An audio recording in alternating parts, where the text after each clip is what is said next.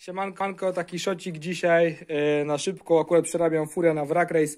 Jest to stary rumpel za 1000 zł.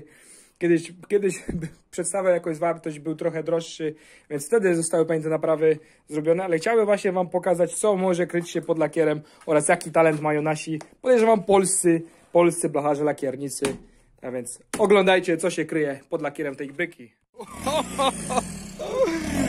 Piękny! Ale gada. Także tutaj ja mam taką teorię, że to auto było bardzo mocno walnięte w, w tył. Miało potężnego szlaga. No i tutaj trzeba było aż wspawać, bo to jest, tu są spawy. I tu trzeba było wspawać całą ćwiarę. Nie wiem jak to tu wygląda. Może te drzwi się ledwo otwierają. Usyfione całe to auto. O, żuberek elegancki. Zobaczcie, kanapa jest złamana. Kanapa jest złamana, czyli on chyba musiał dostać strzała i aż, aż, aż po prostu do tyłu go wyrwało. Poduszki oczywiście wystrzelone są w fotelach. Mm, ale nie wiem, w którym to miejscu mogło być tutaj heftane. Yy, ale tutaj ta szpachla po prostu coś pięknego. Coś pięknego.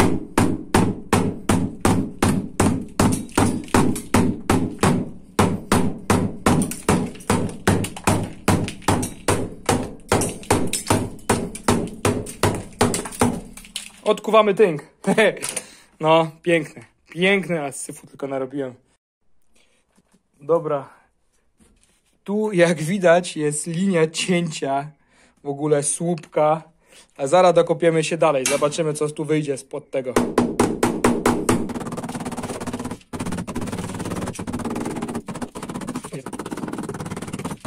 Tu, jak widać, było w tym miejscu wcięte ćwiartka.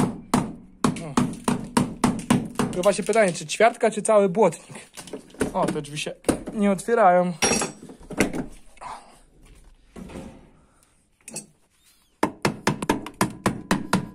A nie, tu jest już goła, tu jest już blacha. Tu jest blacha. Czyli chyba tylko był cały ten, cały ten tylny błotniczek. Ciekawi mi dokąd to idzie.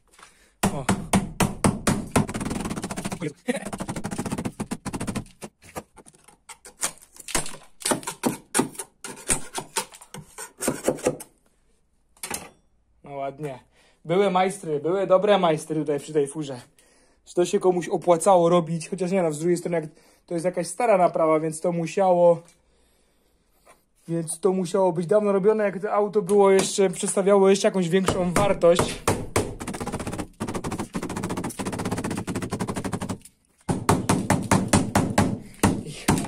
Ale grubo tej szpachli. No tak więc nie dajcie się wpuścić na minę, jak kupujecie furę. Sprawdzajcie se czujniczkiem lakieru. Patrzcie, tu ten spawik. Tu ten spawik i to jakoś gdzieś tam dotąd. A z tej strony chyba to w ogóle jest całe zabetonowane. Coś tutaj blacha. Tu mi blacha wychodzi. Tutaj jest linia cięcia. Tutaj, o się nawet nie pierdzili. Tu jest, o, co, chyba, on chyba cały dach musiał mieć spawany. Na masce szpachluwa. Tu aż puchnie. Korozja na słupkach przednich. Tutaj. W sumie, a wezmę młoteczek, zobaczymy.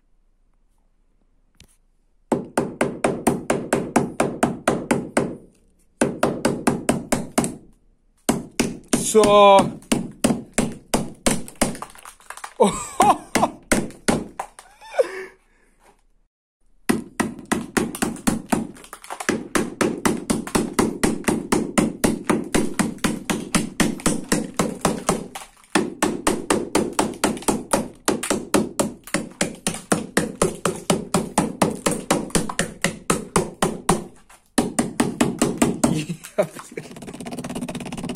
tutaj o, tu jest miejsce spawu, miejsce chyba, miejsce łączenia.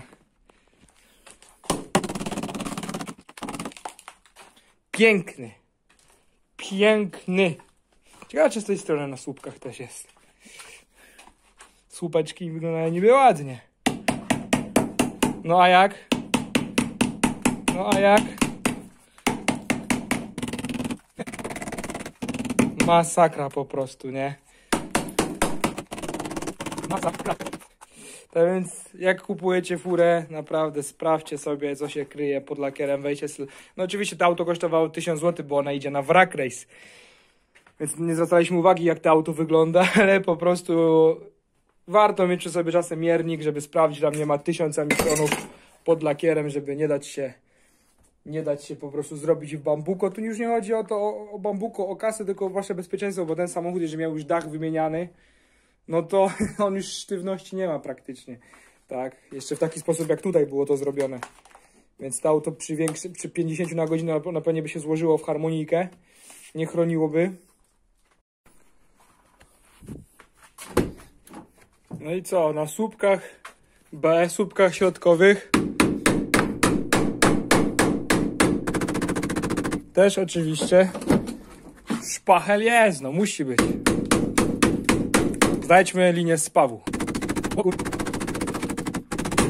Zobaczcie, w ogóle lakier tu wygląda jakby był nieruszany, nie? Jest, jest w fajnym stanie. Ja nie mogę. Od tej strony. Ale, ale tynk. Dramat po prostu, nie? Tutaj. Tu go cieli.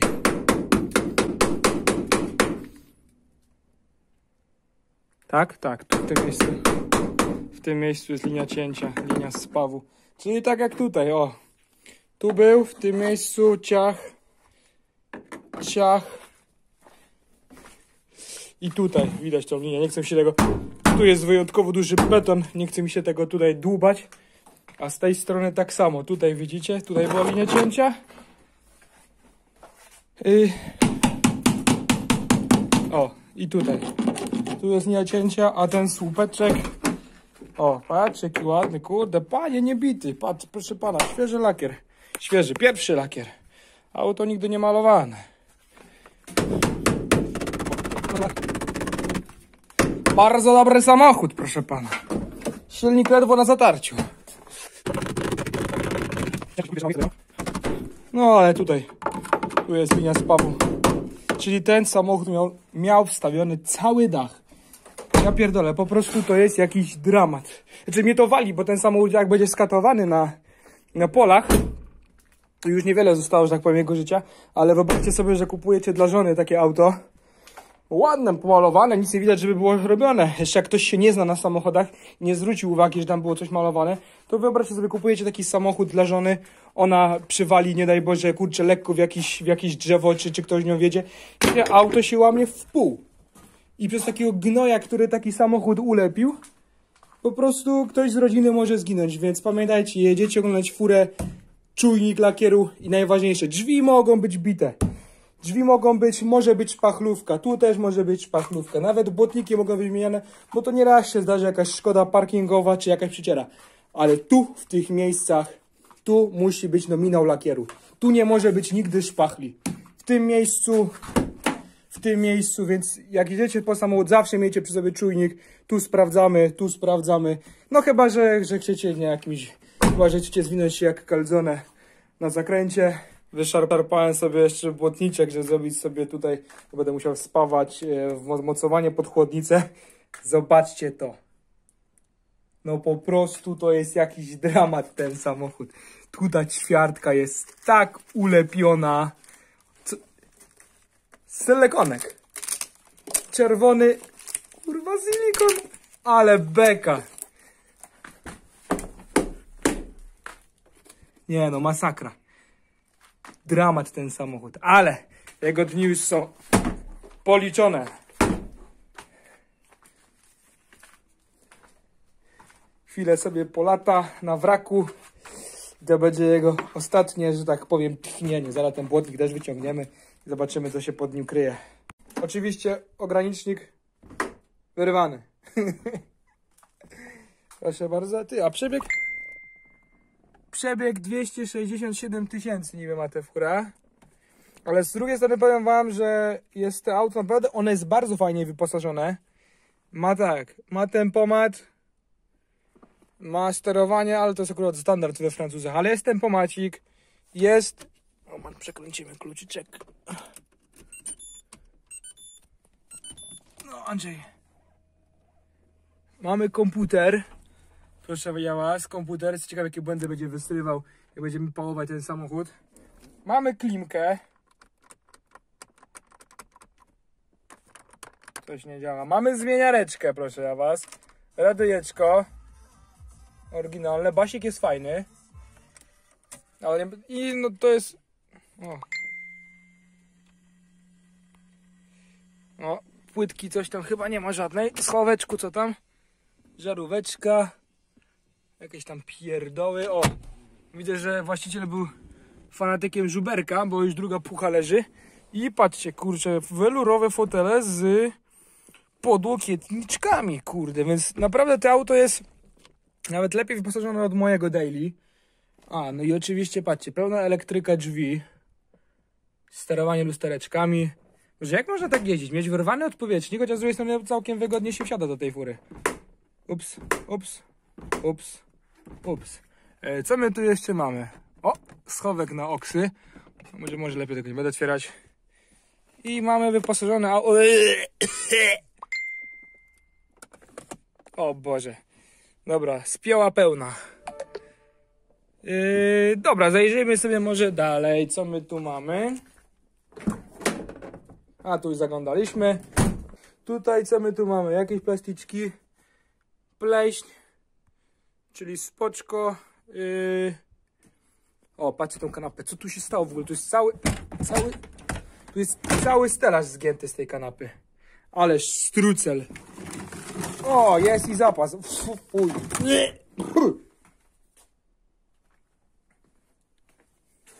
O, podjeba Malborasków. Malborasek. Kiedy ostatni raz miałem cię w ustach? Jest i zapasik, jest i kurde lewarek, trójkąt, korbkia do szyb. Nie, nie wiem po co, bo to auto ma elektryczne. Czyli pełne wyposażenie. No i dzięki, dzięki za uwagę. Zapraszam Was tam do kolejnych filmików. A to takie właśnie szybko, co może kryć się pod lakierem.